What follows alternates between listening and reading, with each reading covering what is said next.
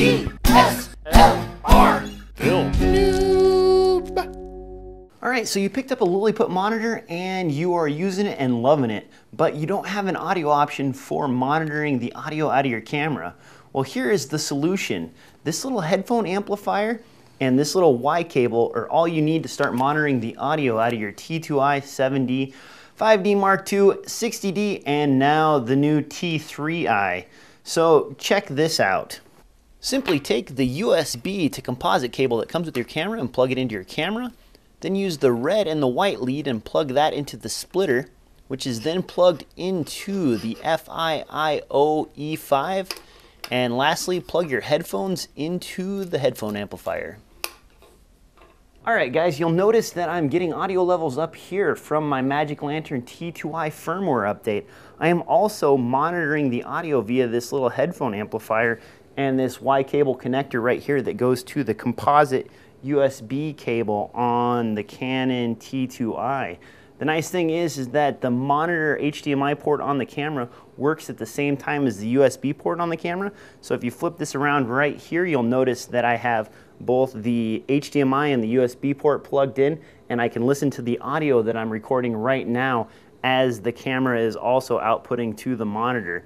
This is extremely handy and it gives you the audio application that you probably wanted for your Lilliput monitor. It's also pretty affordable. That little headphone amplifier and the splitter cost me $22.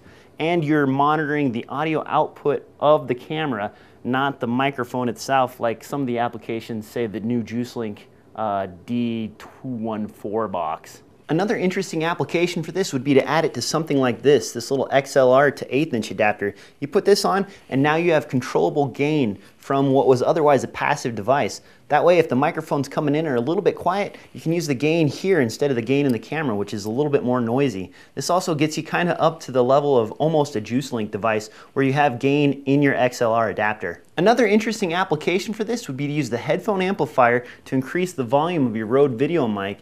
This would be handy if you need more volume out of this into your camera so you're not using the camera's gain. Somebody's already actually adapted these two together for an interesting headphone monitoring. The headphone monitoring is directly from the Rode video and mic and not from the camera. Not sure why you'd want to do this. Maybe there's some application I'm missing here, but I'll have a link to his information on Vimeo in the crotch bar below. The manufacturer claims that this little guy has a battery life of about 22 hours. I don't know if this is actually the case or not. Many times those numbers are exaggerated. I will tell you that I have been using this all day and I haven't had a problem with it. It charges via USB and I actually ordered three of these at about $17 a piece. This little Y cable right here was about $2.